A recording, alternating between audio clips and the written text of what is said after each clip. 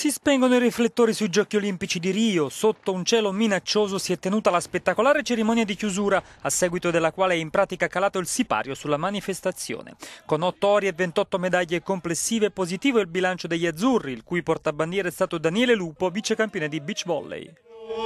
Con molto orgoglio